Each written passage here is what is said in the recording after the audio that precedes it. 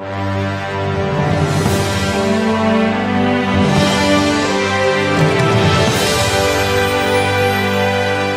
up guys, Jeff Discher, real estate broker with the Discher Group at Douglas Elliman. And today I want to cover a subject that's a little touchy.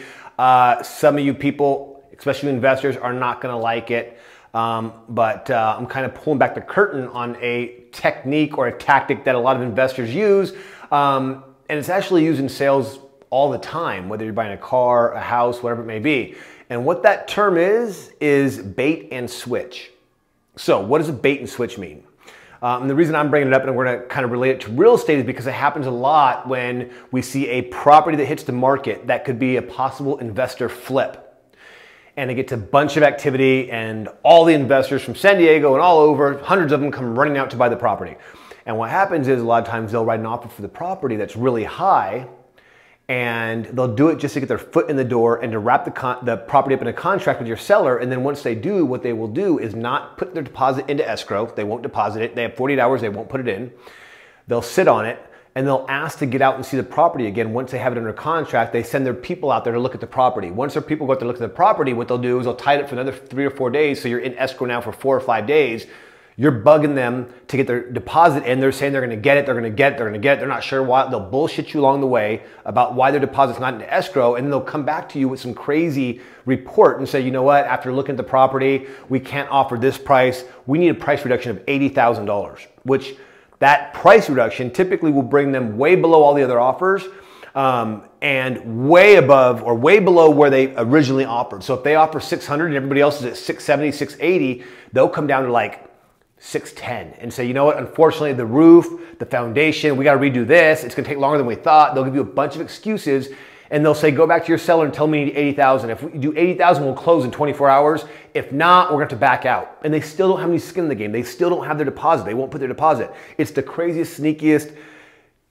It's it don't fall for it. So what I do, and I'm going to give you guys a tip as a listing agent, what you do is when you get these investors, when you accept their offer, you counter back to them and say that you want a passive deposit.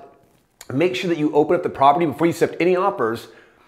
Open up the property for everybody to come look at. The investors, give them one day and say, bring your crews out, bring your contractors out, bring everybody out and look through this property and make sure that you're gonna give the offer that's your final, highest and best that you'll close on because I'm gonna ask you and I'm gonna counter you for a, passive depo- a passive deposit, meaning that once we accept your offer, that deposit has to be in escrow within 24 hours and once it's in escrow, it's going to go directly to the seller. And you can say, well, Jeff, you said they're not going to get the deposit in. Exactly. So what we're going to do is once we accept their offer, we're going to give them 24 hours to get their deposit in per the counter offer. And we're, we're going to put the property, we're not going to put it in pending yet. I'm going to leave it in active until they get their deposit in. And I'm going to put that in the contract. Property will remain inactive until buyer's deposit in, in escrow. Okay, so now it's gonna force them to get their money deposit into escrow.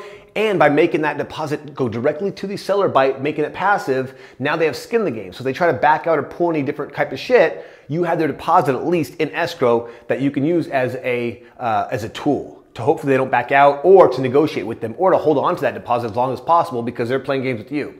So, real quick, if you are a listing agent, you get a property that is going to be a flip, you get a bunch of investors, make sure you do that for me. Do not accept any offers. Do not let them say, oh, 24 hour contingency period. No. Open up a window, have all them come through the house with their inspectors, with their contractors, and give you a price where they can go passive with their deposit. You are very welcome for this tip because it's going to help a lot of people and it's going to hopefully reduce a lot of bullshit out there because I'm tired of it. Anyways, you have any questions, Jeff Discher, real estate broker with the Discher Group. You know where to find me, guys. Social media. Facebook is Jeff Discher. I sell real estate by Instagram and Jeff Discher on YouTube. See you guys next time.